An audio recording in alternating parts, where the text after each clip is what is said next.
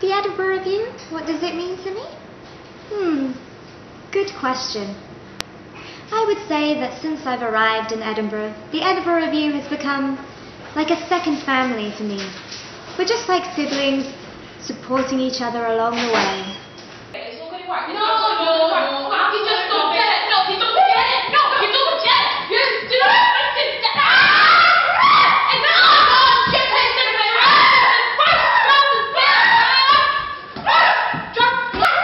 And no, no, get paid to me.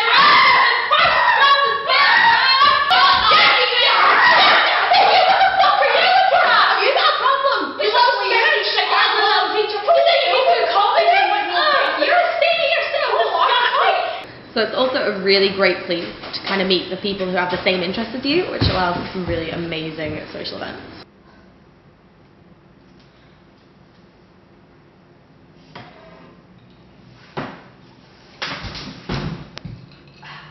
You could find your soulmates at the Edinburgh Revue. We've got so many beautiful love stories that have happened here. And I I know I said before that we're kind of like a family, but we've got nothing against incest. Oh yeah, oh yeah, oh yeah.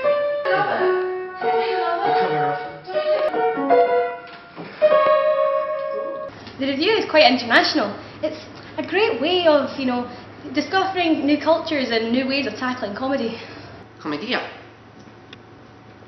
Este distractiv că mă întrebați despre acest subiect, întrucât toată existența mea mi-am dedicat-o studierii comediei. Și, într-adevăr, de foarte multe generații am studiat acest ideal calogatatic, această expresie fizică a comicului metafizic. Și, într-adevăr, această genă s-a născut în paralel cu Universul, există în mine, există în tine, există în noi toți. Și este misiunea noastră pe această planetă să o aducem la suprafață, dar această genă nu poate fi adusă la suprafață prin cuvinte primitive, ea trebuie sedusă ușor, prin subtilități perfecte. De exemplu, monologul meu este format din cuvinte în limba latină și în limba grecească, care este So I think um, here at the review we have the ability to put on some really um, incredible production. Did somebody call for an elephant mask? But most of all, we have the creme de la creme of comedians.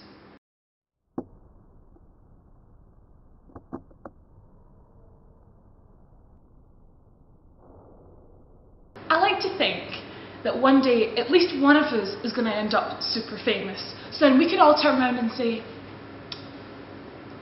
I knew that guy. Um, I'm sorry, what's your name? um, Eliz- Elizabeth.